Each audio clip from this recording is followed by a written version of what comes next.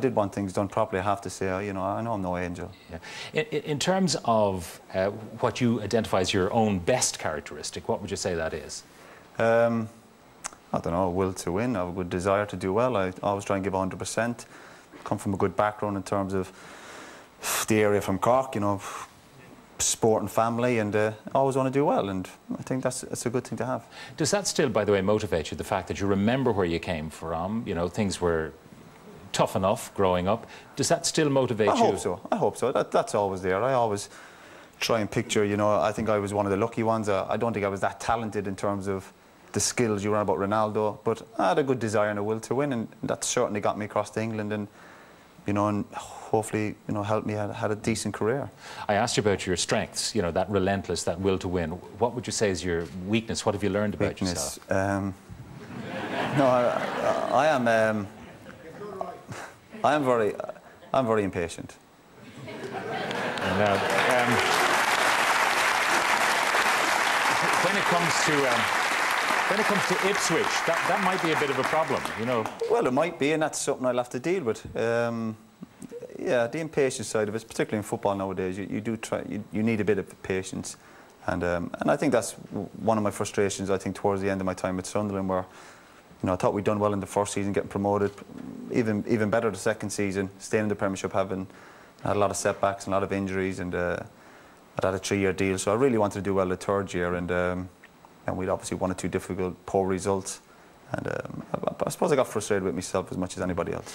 What do you say to people who say you walked? You know, that you walked from Sunderland, that when the going got tough, the, the tough, the tough guy got going? Listen, no, no, that's, uh, again... You know, uh, people have said I. I appreciate that. Listen, everyone's entitled to their opinions, and I have no problem with that. I know myself, you know, I've, I've never lost a, a, wink of sleep where I going back to Saipan when I left United, uh, leaving Sunderland. I just sometimes know when the time's to go, and um, we'd had a, a, poor result, particularly against Bolton on the Saturday, but if I was ever going to walk, it would have been the Saturday, the Sunday, the Monday or the Tuesday. I left Sunderland on the, on the Wednesday after a conversation with Niall on the Monday, and the new owner on the on the Wednesday, and I just thought, you're not for me. You know, you want to go in a different direction to me. And again, from the outside, it might look, but I was very relaxed. I just felt it was the right decision for everybody, and I still feel it was the right decision.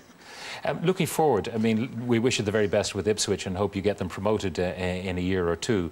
Looking beyond that, because, I mean, clearly management is a learning curve. You learned so much about yourself and about what's required of a manager in Sunderland. You're going to learn more in Ipswich. Do you ever see yourself uh, looking to the national side and, and, managing them a little bit down the road? Well, it's, it's amazing. I, have been at Ipswich a week now and people are asking me about the Irish manager's job. Well, no, the reason, the reason I'm asking, the reason I'm asking is that um, you know, some people thought that Sunderland was an exercise in management. You, you did it. You ended up saying, "I don't like this. I'm walking away." But clearly, you want no, to be a manager. You want to have a no, career. No, I, I like being yeah. a manager, and I was I was very I was very comfortable in yeah. terms of. Um, even the, the, difficult situation we had at Sunderland, we had a difficult year when I got there and the year when we got promoted. So um, it's just when, when people move goalposts on me and, and I, I, feel I can't trust them, that's when I said, you're not for me. And yeah. it was the same, even my time at United, when I me and the manager sat down, we shook hands. There was no, no big drama. It was just, listen, we've come to the end. It's, it's, it's over. And, uh, and that, that, was the same as I said at Sunderland. So this management, you're on, a, you're on about learning. You're going to be learning every day. You know, as I said, I've been at Ipswich a week, and uh, even my first week at Sunderland, people are saying, is it a stepping stone to the United job? It's crazy. All, all I can do is focus on the job in hand and, and basically not not, not look too far down the road. Well, the reason I was asking this is because one of the big dilemmas that Giovanni Trapattoni has, and he's done you know, very well, well yeah.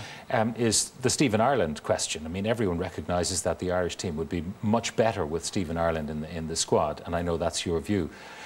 How would you go about persuading your fellow Corkman to, to play for his country? Well, it's, it's very difficult. I, I, think it's dangerous for me to be second-guessing what's going on there. I've never met the lad Ireland. I don't know his, his background. I don't know the reasons for not playing, and, and I'm pretty sure the manager, uh, Mr Trapattoni, has made an effort. Um, and, you know, we've got to respect the lad Ireland. If he doesn't want to play, whatever it might be, that we don't know, we're, we're all guessing, then you've got to respect it. Yeah. I'm just if, wondering... If you, felt, if you felt there was any chance, if there was any chance, a glimmer of hope, you do anything to get him back. He's a good player. Yeah, I'm just wondering, does he need a translator, a man who speaks Cork? well, well, the lad Ireland's from Cobh, you know, yeah. I'm from Cork, it's, it's slightly different. but, but, I know what you mean, I know what you mean. But, but you know what I mean, with someone who... Yeah, I, I, appreciate that. No, if I was at his club team and I thought I could, you know, if I ever bumped into him in the street, I, you know, my advice would be, it is a short career, you know, it is, it is over before you know it.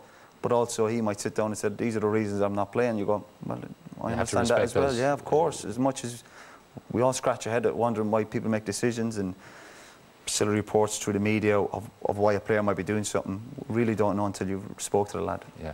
Um, you seem very much at peace with yourself at the moment, you know, in a good I place. always am, Pat. I just sometimes, again, there's, you know, I grow a beard, people think I'm depressed. Uh, you know, it's, it's amazing. I, uh, me, me, my wife and my kids, we laugh at whatever that might be out there about me. And uh, In Sunderland, on the touchline, um, you didn't get rattled. You didn't shout and roar at the, the fourth official. You didn't, you know, you didn't jump up and down. And people were saying he's in the Zen mode, you know.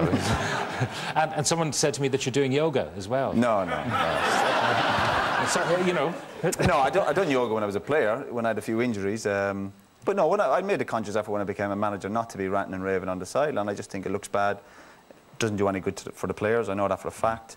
And, and trust me, I did lose it. But uh, when I lost it, I tried to lose it just in the dressing room with the players. Yeah. And I've done that many times. I lost it last Saturday with them. But you keep in the dressing room. I just think it looks bad on the side for a manager ranting and raving, especially at every decision. It's different if it's a major decision like a penalty. Yeah, you can get upset. But I've seen managers and I've studied managers in other sports where they're losing it at every decision. And then I think it, it loses its point, really. yeah.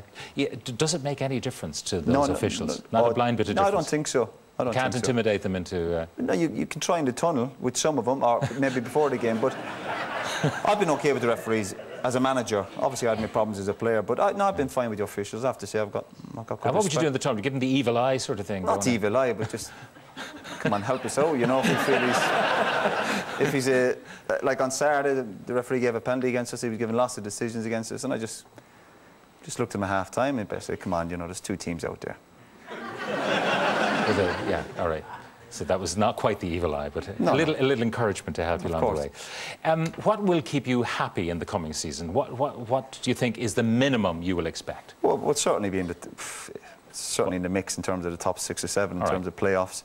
Um, again, it's going to be tough. I'm under no illusions. Uh, Again, but I, I am a bit of a dreamer. I do believe we can achieve things, and I believe that at Sunderland. The first day I walked in, I looked at the players. There were a lot of old players. Um, the quality wasn't really there, but I believe that we, we could turn it around, and we did very quickly, thanks to you know, good staff, good support from Niall and the board, and everything was fine. I have to say, and uh, again, I look back at my time Sunderland, all positives, and I believe that can happen in Ipswich. Otherwise, trust me, I, I wouldn't have took the job. Well, you're only week in the job, and yet you've taken time out to come over to Ireland to support uh, your favourite charity, the Irish Guide Dogs for the Blind.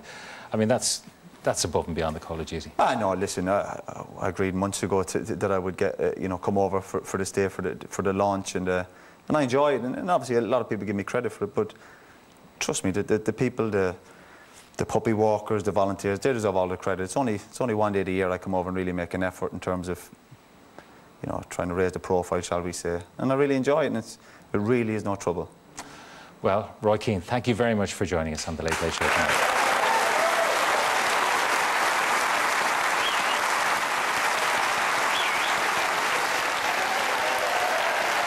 And for people who want to support uh, Roy's favourite charity, the Irish Guide Dogs for the Blind, their Specsavers Shades campaign, that's going on at the moment. If you want to help there, all you do is text the word Shades to 51444 and follow the instructions to make a donation. And also, Shades pins are available in stores nationwide for two euro. Uh, that in- interview, by the way, was recorded yesterday. Uh, Roy came in just for the day.